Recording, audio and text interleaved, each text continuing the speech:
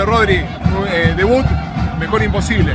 La verdad que sí, feliz porque ganamos, todavía queda mucho para dar, siempre es bueno dar un primer paso firme y más en esta copa que hacía tanto tiempo que bueno, que no se daba este primer paso bueno, así que tenemos que seguir adelante, nada más. Arrancaron con un buen primer tiempo, en el segundo un poco que se quedaron, pero después lo definieron rápido. Sí, sí, fue un eh, partido duro, viste, hace poco que estamos con las prácticas de fútbol y eso, entonces cuesta, pero creo que siempre este, estos chicos tienen muchas ganas, dejan todo y creo que eso es lo que más sirve hoy.